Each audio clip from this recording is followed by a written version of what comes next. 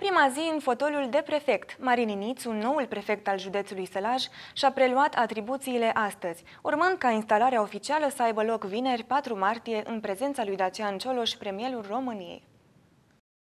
Marin Nițu a ocupat funcția de subprefect al județului Sălaj în timpul guvernării Tăricianu, din decembrie 2005 până în februarie 2009, fiind numit apoi inspector guvernamental. A îndeplinit această funcție în cadrul Secretariatului General al Guvernului până în iulie 2013. Guvernul României a aprobat miercuri 2 martie eliberarea din funcție a mai multor prefecți din țară. Printre ei se numără și prefectul de Sălaj, Ionel Ciunt, care își anunțase încă de luni demisia din funcție.